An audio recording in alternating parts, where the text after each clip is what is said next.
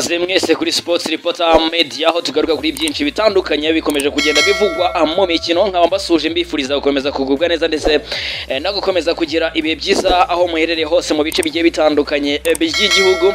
Tuba turebera hamwe byinshi bitandukanye byinshi bigezweho biri kuvugwa muri ekipe ya APR Football Club. Eh, birumvikana nari nabasezeranyije kubagezaho umukino wa ekipe ya APR Football Club yarasuyemo ekipe ya Muhazi United. Eh, gusa ntabwo byaje gukunda nababwiye ko ikirere ni cyiza kunkunda rwose nzakora neza cyane.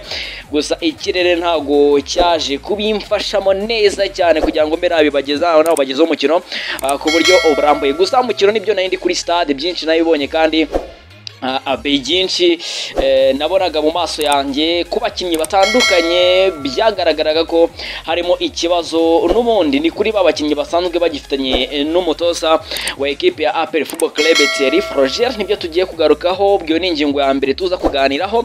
Ikindi kandi turaza kwibanda ku bijyanye na transfer n'ubundi zikomeje kugenda zivugwa muri ekipe ya APR Football Club.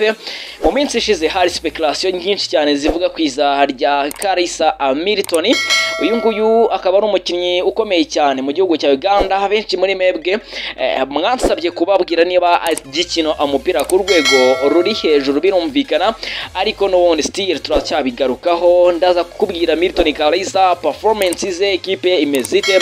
N'ubundi ibyifashe bite kuri Milton Kalisa abantu nanone eh, bambajije ku bijyanye na transfer ya Leandre Willy Onana Esomba muri ekipe ya APR Football Club namwe rwose.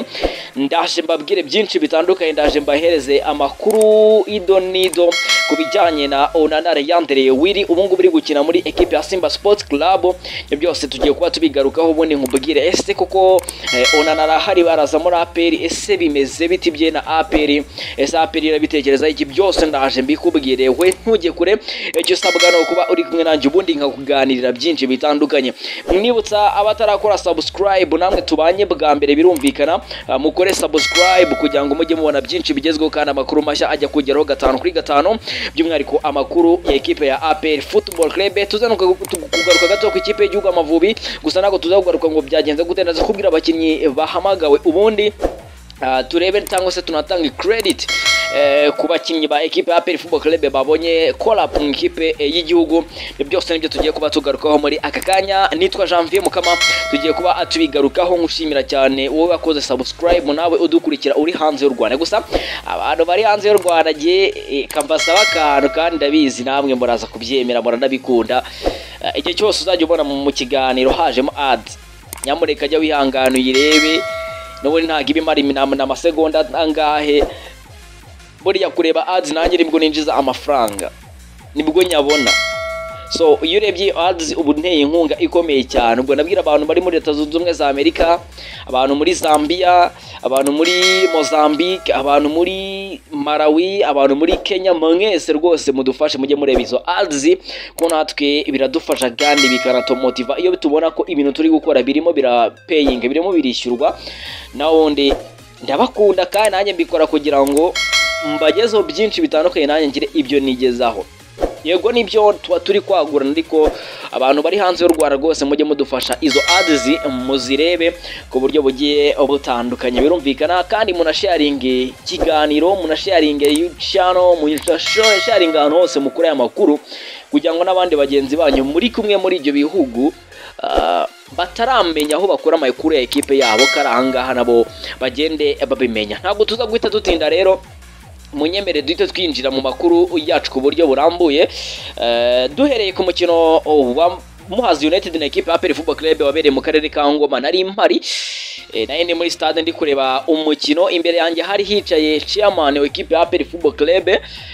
Eh kugira ngo nawe yarebye umukino. Ariko ah, kimwe mu bintu byagaragaye ni rya kunda ry'umutoza ah, Thierry Froger gukunda Isumu Nshimirimana Yunus mubabarire. Icyagaragaye eh, mu mukino ni byo nshimira imana Yunus yifitiye icyizere ariko abakinnyi bagenzi be ntabwo mumufitiye icyizere. Eh, ubona ko batinya kumukinisha batinya kumereza imipira muri make ntabwo bamubona nk'umudefanseri uri stable. Ubwo nkahita nkweshoninga nibaza nti ibi byose kuki biba? Hagakinishwa kerema wenyine ko urebye mu kibuga imipira yose muri defense bayinyuzaga kwa kerema. Eh, tukibaza tuti ubu ngubu Thierry Froger ntabwo ari kubona ko uh, hakenewe Benjamin wa undi w'umurideri waza gukina na Kerema bikaba defense nziza. Uh, turongera mu kibuga noneho tuvuye mu kibuga off the pitch. Uh, benshi bazi impamvu Shibubu atari gukina ni utubazo yagiranye n'umutoza. Twuba nabikugana bigarutseho nkubwira uburyo aho byaturutse n'impamvu yabiteye Shibubu abwira Thierry Froger ko gutsindwa na piramide bitandatu ari wabiteye ibyo byose narabikubwiye.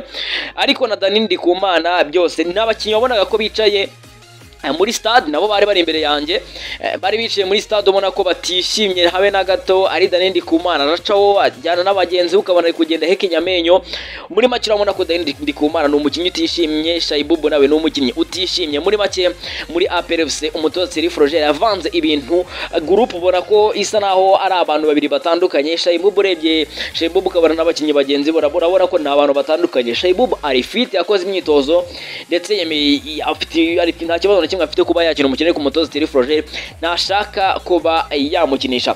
So tuvuye kuri ibyo ngibyo byo muri APR ubwo ni imbere dressing room murumvikana ko ifite ikibazo hagati ya Shibubu na Dani Kuma ntibumvikana n'umutoza. Eh, twita tugaruka n'ubundi kuri transfer. Abantu barambajije bati muzababwire niba Milton Kalisa agikina neza?